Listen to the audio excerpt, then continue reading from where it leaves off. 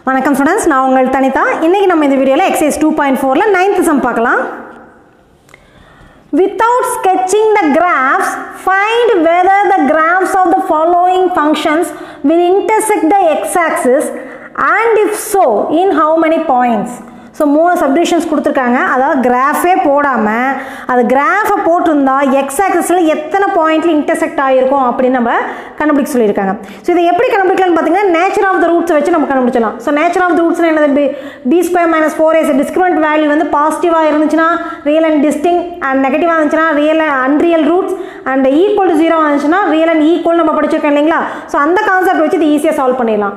இப்போ b square minus four a c இது ஏற்கனவே இன்ட்ரடக்ஷன் பார்ட்டில் நம்ம பார்த்தாச்சு. அந்த இன்ட்ரடக்ஷன் வீடியோ பார்க்காதவங்க பார்த்துட்டு வந்தீங்கன்னா கொஞ்சம் ஈஸியாக இருக்கும்.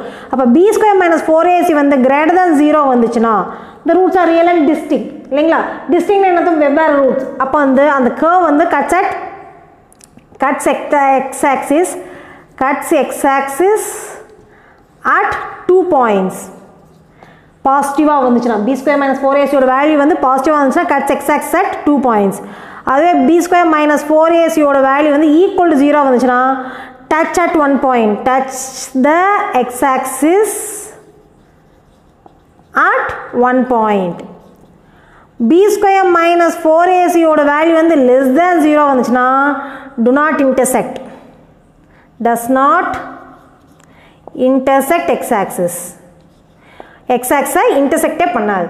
ஸோ இந்த கண்டி இந்த கண்டிஷன்ஸ் யூஸ் பண்ணி தான் நம்ம இங்கே வந்து டயக்ராம் போடாமையே அந்த கர்வ் வந்து எக்ஸ் ஆக்சஸை எத்தனை பாயிண்டில் கட் பண்ணோம் அப்படிங்கிறத நம்ம சொல்ல போகிறோம் ஓகேங்களா இப்போ நம்மளுக்கு கொடுத்துருக்கத y is equal to x square plus x plus two இருக்குதா? அது நம்ம ஒரு கொடாட்டிக் ஈக்குவேஷன் எடுத்துக்கலாம். First subdivision let x square plus x plus two equal to ஜீரோன்னு எடுத்துக்கோங்க. இங்கே ஏவோட வேல்யூ ஒன் பியோட வேல்யூ ஒன் சியோட வேல்யூ டூ அப்போ பி ஸ்கொயர் மைனஸ் ஃபோர் ஏசியோட வேல்யூ பியோட value one minus four into ஏவோட வேல்யூ ஒன் சியோட வேல்யூ டூன்னு சப்ஸ்டியூட் பண்ணுங்கண்ணா.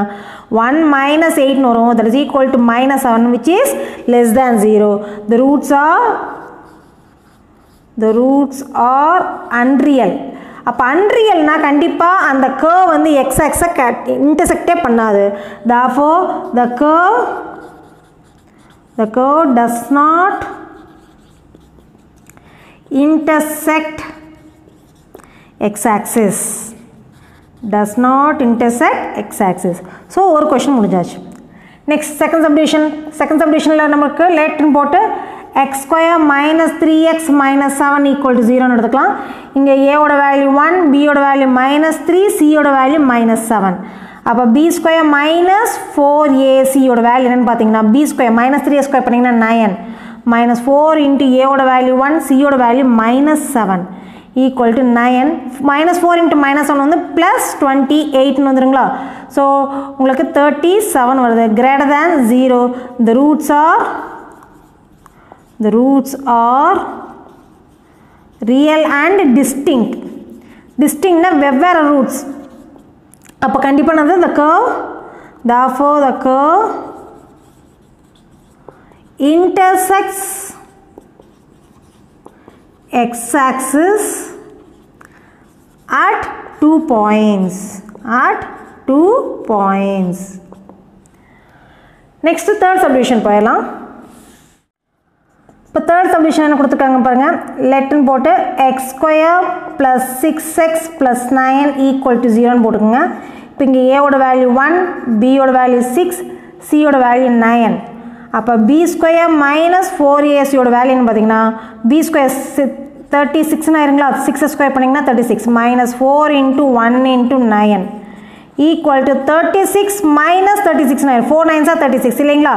Equal to zero the roots are real and equal roots are real and equal therefore the curve touches x-axis at one point. So this is our required answer.